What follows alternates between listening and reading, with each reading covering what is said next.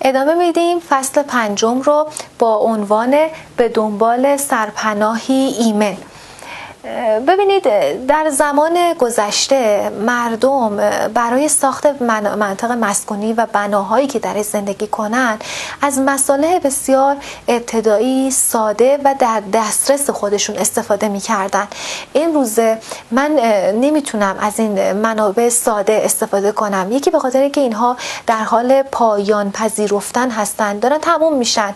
بالاخره یه روزی کاملا از بین میرن. دوم اینکه جمعیت توسعه پیدا کرده. من برای اسکان تمام این افرادی که الان روی کره زمین زندگی می‌کنن نمی‌تونم از چوب در جنگل های شمال یا از خاک رسی که توی منطقه کبیری و بیابانی وجود داره استفاده کنم.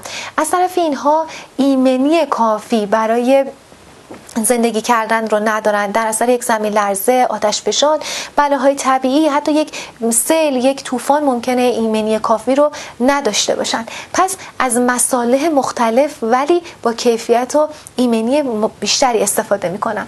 یکی از این مسائلی که قرار ما باش کار کنیم و باش آشنایی داشته باشیم بتون هستش.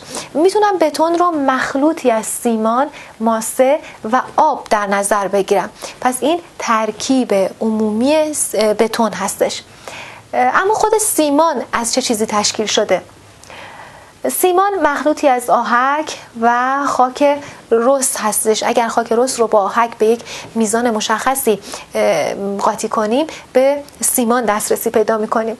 این تصاویر هم گویای استفاده از این مواد هستن. ببینید در زمان گذشته مثلا در قسمت های گرم سیر ایران در منطقه که گرما خیلی زیاد بوده از به وسیله گنبدی کردن سقف ساختمان ها استفاده از خاک رس بناهای ساخته می شده این گنبدی کردن جلوی تابش مستقیم نور خورشید رو به سقف خونه ها می گرفته خاک رس رو یه مقدار آب، آپاشی می کردن یک خونکایی رو از این دیوارها به دست می آوردن یا در مناطق شمالی کشورمون که میزان بارندگی خیلی زیاد هستش از چوب استفاده می‌کردن. چوبی که در جنگل ها وجود داشته سقف خونه ها رو به صورت شیروانی طراحی می‌کردن که آب یک جا جمع نشه بعدا ریزش سقف نداشته باشن. مسئله بسیار ساده و ابتدایی که در همون مکانی که زندگی می‌کردن وجود داشته. اما دیگه با توسعه و پیشرفت جامعه امروزی همونطور که بهش اشاره کردیم شکل ساختمون ها نه تنها عوض شده بلکه از مصالح مقاومتر و بهتری استفاده شده در ساخت ساختمان ها. اما بتون مسلح یا بتون آرمه؟ به بتون مسلح شده با میلگرد می‌گویند. بتون نیروهای فشاری را به خوبی تحمل می کند اما در برابر نیروهای کششی ضعیف است. پس با مسلح کردن بتون می توان مقاومت کششی را افزایش داد. برای آنکه مقاومت بتون بیشتر شود به آن آب می دهند هر موقع شما کلاف یا سازه ای رو با میلیگرد ساختین درونش رو با بتون پر کردیم به این ساختمان میگن ساختمان بتون آرمه مسلما مقاومت این ساختمان از خشت آجر چوب بیشتر هستش. هم مقاومت کششیش و هم مقاومت فشاریش. به خاطر وجود بتون و میلگرد هایی که درش به کار برده شده. توجه کنید در قسمت آخر اشاره کردیم که برای که مقاومت بتون بیشتر بشه بهش آب اضافه می‌کنن. شاید شما توی شهر حرکت که می‌کنید رفت آمد که دارین خیلی از ساختمان ها یا مناطق مسکونی مناطق تجاری رو دیده باشید. پس از اینکه این خونه ساخته میشه با بتون تعدادی افراد هستن که به فواصل زمانی مشخصی اینها رو آبیاری می‌کنن. ببینید وقتی بتون مقداری آب بهش تزریق میشه شروع می‌کنه به رشد کردن. انگار این بلورها این اجزای سازنده به صورت شاخی شاخی رشد می‌کنن. با وجود آب این شاخه ها توسعه پیدا می‌کنه. مانند یک کلافی به هم گره می‌خورن فشرده میشن. این کلاف محکمتر میشه. پس وجود آب در فواصل زمانی مشخص شده حساب کتاب شده کمک می‌کنه. مقاومت بتون من افزایش پیدا کنه. البته تا یه زمان خاصی به اون زمان و به اون مقدار محاسبه شده که رسید دیگه احتیاجی به آب دادن به بتون وجود نداره. بتون من اون گیرایی اون چسبندگی خاص خودش رو پیدا کرده.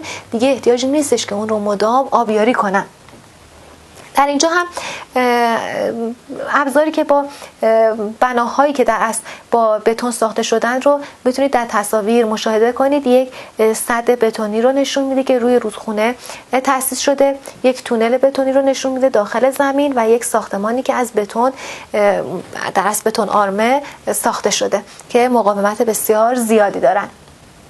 نکته استفاده همزمان از فولاد و بتون در ساختمان سازی سبب می شود هنگام بروز حوادث طبیعی آسیب کمتری به ساختمان وارد شود. پس اون که مسلمه یک فولاد و بتون کمک بیشتری می‌کنن که ساختمان با استحکام بالاتری ساخته بشه. همچنین در رابطه با بلایهای طبیعی ما نسبتا ایمن هستیم. اما اندوخته طبیعی. سنگ معدن آهن. ببینید از معدن مواد مختلفی استخراج می شد یکی از این مواد که ما از ابتدای این فصل با هم در موردش صحبت کردیم سنگ معدن آهن بود که از کانی های هماتیت و مگنتیت استخراج می شد به صورت ترکیب. این آهن استخراج شده. قرار نیست من فقط در صنعت ازش استفاده کنم. در زندگی روزمره وسایلی که تو آشپزخونه استفاده میشن احتیاج به آهن دارن چون استحکام زیادی داره. پس در تولید قاشق و چنگال می‌تونم از این آهن استفاده کنم. خاک رس ظروف چینی تصویر گویاس یک بشقاب چینی هستش که روش لعاب قرار گرفته طراحی های زیبایی روش انجام شده که این بشقاب خود بشقاب از خاک رز تهیه شده. ماسه ظروف شیشه ای یک لیوان یا تنگ شیشه رو در تصویر مشاهده می‌کنید که با تغییراتی که روی ماسه انجام شده تشکیل شده و شکل گرفته. تهیه ظروف سفالی. برای اینکه این ظروف سفالی که در تصویر می‌بینید آماده بشن و ساخته بشن اول تهیه گل کوزگری هستش. گل کوزگری تهیه میشه از مناطقی که خاک رس وجود داره خاک رس برداشته میشه با آب مخلوط میشه به یک نسبت مناسب. گل کوزگری تهیه میشه. شکل دادن به خمیر هر شکلی رو که بخوام درست می‌کنم. حالا می‌تونه ظروف باشه می‌تونه مجسمه باشه. به این خمیر شکل میدم. پختن و لعاب دادن ظروف سفالی. ظروف رو درون کوره می‌ذارم حرارت میدم. این ظروف پخته میشن محکم میشن. در از یک واکنش دگرگونی اتفاق میفته ظروف من دیگه به هیچ عنوان به حالت اول بر نمیگردن. ظرف سفالی من مثلا اینو در نظر بگیرین به هیچ عنوان. دیگه به حالت اولیش بر نمیگرده به حالت خشت خام بر نمیگرده چون کاملا پخته شده. برای زیبایی کار تو تصویر می‌تونید مشاهده کنید از لعاب استفاده می‌کنن لعاب رنگ های مختلفی داره. می‌تونید روش طرحهای مختلفی رو هم طراحی کنید نکته افزودن اکسید کروم به لعاب سبب تولید ظروفی با رنگ سبز می شود گفتم از لعاب به عنوان یک کار تزئینی استفاده می کنیم زیبایی ظروف من رو بیشتر می‌کنه. حالا اگر لعاب شما بهش اکسید کروم اضافه بشه رنگ سبز ایجاد می‌کنه. ظروف شما می‌تونن رنگ سبز به خودشون بگیرن. جمعوری اطلاعات در شهرهایی مانند یزد، همدان و غیره ظرفهای سفالی و چینی مختلفی ساخته می شود. درباره تنوع ویژگی ها و چگونگی ساختن این ظرف ها اطلاع جمعآوری کنید. ما تمام اطلاعاتی رو که جمع آوری کردیم در قالب این جدول برای شما به عنوان پاسخ در نظر گرفتیم ببینید اکسید فلز اون فلزی رو که وارد لعاب می‌کنم که رنگ مختلفی رو تولید کنه رو اینجا نوشتیم. اولین عنصر اولین فلز فلز مس هستش. وقتی وارد لعاب میشه رنگ سبز تا قرمز ایجاد می‌کنه. دومین عنصر کوبالت هستش. رنگ آبی به لعاب میده. سومی کروم هستش. رنگ سبز به لعاب میده. طلا رنگ قرمز تا قرمز یاقوتی برای شما ایجاد می‌کنه. آهن قهوه‌ای تا زرد. پس لعاب من رو می‌تونه تا این حد دچار تنوع رنگی بکنه. اینها به عنوان زیبایی کار استفاده میشه و لعاب ها رو با رنگ های مختلفی تولید می‌کنن. تهیه ظروف شیشه ای ماسه به اضافه مواد شیمیایی و گرما. خمیر شیشه رو به وجود میاره؟ خمیر شیشه در قالب های مختلف به شکل دلخواه در می آورند ببینید ابتدا من طبق شکل هایی که اینجا انتخاب کردیم یه مقدار ماسه داشتم. این ماسه رو درون کوره های مخصوص به اضافه مواد شیمیایی گرما دادم. اینجا می‌تونید مشاهده کنید. یه خمیری از شیشه به وجود اومده. خمیر مانند شکل پذیره آوردم. این رو به وسیله قالب هایی که وجود داره لوله هایی که درش میدمن درون شیشه خمیر شیشه دمیده میشه به این خمیر شیشه شکل های مختلفی دادم. این رو پس از سرد شدن می‌تونم استفاده کنم به شکل های مختلف. اما ظروف پیرکس. با افزودن ماده به نام بوراکس به ترکیب شیشه خاصیت نشکن در ظرف ایجاد می شوند ببینید مثل تصویر بعضی از ظروف شیشه ای اما نشکنن و هنگامی که می‌خواین خریداری کنید شاید مثلا این ظرف رو روی زمین پرتاب کنه می‌بینید با اینکه شیشه ایه اما شکستگی در ترکی درش ایجاد نمیشه. چرا؟ چون من موقعی که داشتم اینو در کارخانه ایجاد می‌کردم به ترکیبش بوراکس اضافه کردم. در اصل این ظرف شما یک ظرف پیرکس یک ظرف نشکن هستش که دمای فر رو هم تحمل می‌کنه. اما یک مثال. ماده اولیه هر یک از ظروف زیر کدام است؟ پنج تا از ظروف آشپزخونه رو ما برای شما در نظر گرفتیم. حالا از شما می‌خوایم که به ما بگین که این ماده اولیه تشکیل دهنده این پنج تا ظرف چیا هستن؟ ظرف شماره یک یه گلدان یا یک تنگ شیشه ای هستش. می‌دونستیم ظروف شیشه ای از فراوری ماسه به وجود میاد.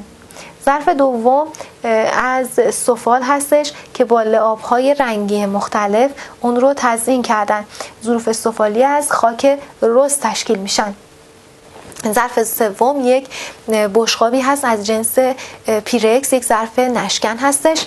همونطور که اشاره کردیم اگر به خمیر شیشه بوراکس اضافه کنیم ظروفی نشکن یا پیرکس به وجود میان. ظرف چهارم یک قابلمه کاملا فلزی هستش. از آهن به وجود اومده و تغییراتی که روی آهن ایجاد شده و تصویر آخری تصویر شماره 5 دو تا لیوان از جنس شیشه یا بلور رو به شما نشون میده. مسلما ظروف بلورین یا شیشه ای از فراوری و تغییرات روی ماسه به وجود اومدن. ببینید در این فیلم آموزشی ما نه تنها موادی رو که از معدن استخراج شدن رو برای شما نام بردیم فقط به این مواد اکتفا نکردیم. از ماسه خاکروس هم نام بردیم که در تهیه ظروف آشپزخانه ظروفی که روزانه ما با اونها سر کار داریم استفاده های مختلف و متفاوتی دارند